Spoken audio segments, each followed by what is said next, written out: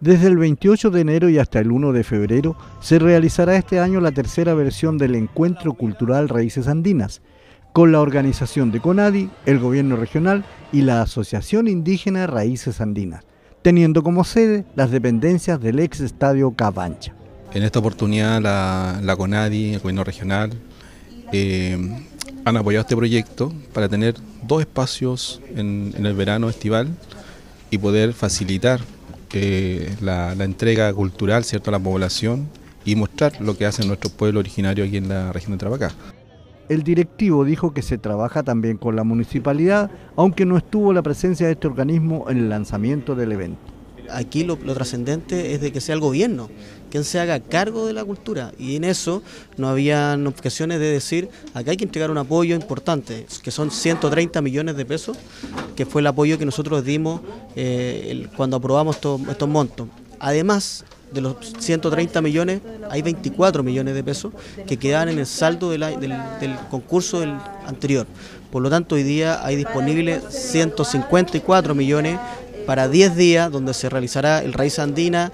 Las bases para ser parte de los expositores están siendo difundidas en toda la región, con la finalidad de lograr una participación masiva de la comunidad andina. Las comunidades desde que empezó el mes de enero nos están consultando respecto al evento Raíces Andinas, porque el evento Raíces Andinas es, un evento que ya se posesionó en el verano, ¿cierto? Iquiqueño, y la gente sabe y lo espera. Entonces eh, nos han preguntado harto, han llamado, nos han llamado, eh, pero ya felizmente las bases están eh, disponibles, ¿cierto? Todos los días en horario de 9 a 1 de la tarde en la oficina de parte de la CONAI. Las distintas organizaciones y comunidades indígenas se preparan para ser parte de la muestra, cuya inscripción se cierra el 18 de enero y el 20 se conocerá el resultado.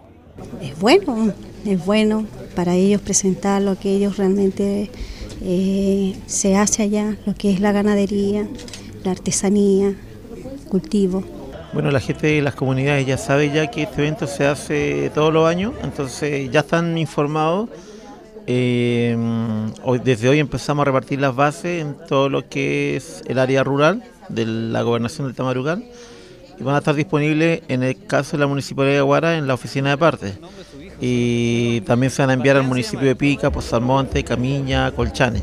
Lo importante es que eh, las bases lleguen a cada rincón de las comunidades. Nosotros somos agrícolas, el territorio donde los mejores choclos, camiñanos y el ajo, entonces nosotros ahí vamos a traer nuestros productos a, la venta para el, para el consumo de la gente de aquí de Iquique y los turistas también.